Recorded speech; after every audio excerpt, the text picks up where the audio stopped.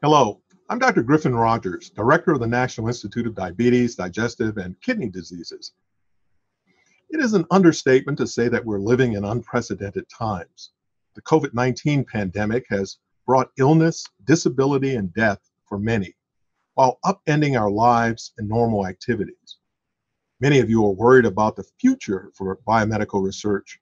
What will be the new normal? In response, I wanted to tell you about some of the steps we and NIH as a whole are taking to reduce the impact of COVID 19 on researchers and their work and to help restart research. We've been greatly helped in this regard by the thoughtful input from members of our National Advisory Council during a May forum on this topic. I'll describe it momentarily. However, I first wanted to take a moment to speak to other recent events. In the midst of dealing with the impact of COVID-19 pandemic, we have now also witnessed heartbreaking events that highlight the racial injustice in our country. The weight of this racial injustice falls heavily on many of the same people simultaneously burdened by the health disparities we're seeing in the effects of COVID 19. These disparities and effects are further exacerbated by the many diseases and NIDDK's mission. As these systemic issues, medical, social, and economic, have boiled over in deeply troubling waves, I grieve with you. But I still have great hope and optimism that these raised voices will create meaningful change. For our part, NIDDK will continue to work to understand the causes of the health disparities or the diseases within our mission, including how these diseases may be contributing to COVID 19 disparities and to achieve a more diverse scientific workforce and feel safe and supported. I also remain optimistic that we as a scientific community can move biomedical research forward while dealing with the many effects of the COVID 19 pandemic. The members of NIDDK's Advisory Council, scientific and lay leaders from research and patient communities, meet three times a year to advise NIDDK about our research portfolio. We also seek their input on managing the research enterprise, input that is particularly critical during times of challenge and change.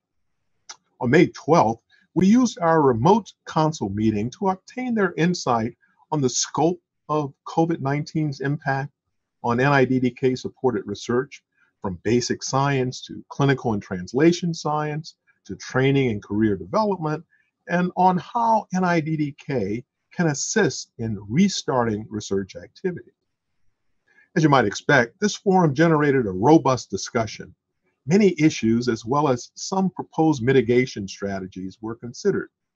Among these were several cross cutting issues, such as increased costs for conducting research safely in current institutional environments.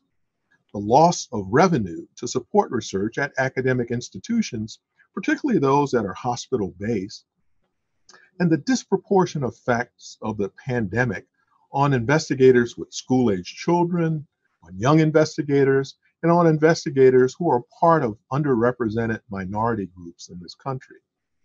The forum participants also raised the specific impacts on young and junior investigators, such as hiring freezes, job offer revocations, and suspension of lab work and clinical studies, resulting in their inability to generate preliminary data to support initial R01 applications. Finally, our councilors highlighted challenges to the very conduct of scientific research, such as the accommodations that need to be made for the safety of all involved fear or reluctance on the part of participants to participate in clinical trials, and the inability to collect outcome data in biosamples. When it came to ideas for how to mitigate these impacts and the roles for NIDDK and NIH, three common themes emerged. There were policy flexibility, policy accommodations, and targeted investments. Council members provided a number of suggestions along these lines for our considerations. Now, many of these issues and challenges raised are not unique to NIDDK. NIH has been working hard to try and get in front of the issues that the pandemic has created for the research community. And several recommendations made by our, our council members have been addressed at a trans NIH level. For example, NIH has provided leeway on post award reporting deadlines and flexibility in human subjects research project extensions and managing project costs. Also, the new flexibility allows investigators to submit one page of preliminary results up to 30 days before the date of peer review, a flexibility that was recommended by our council members.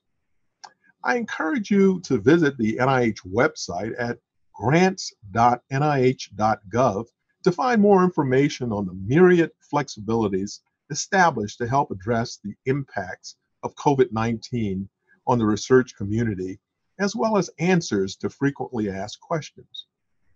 What I wish to underscore for you is that within the NIH framework, and while considering additional suggestions and options, NIDDK will work to be as generous and flexible as possible one approach we will explore is in response to Council suggestions in targeting investments to young investigators to mitigate disproportionate impacts of COVID 19 on the careers of this vulnerable population.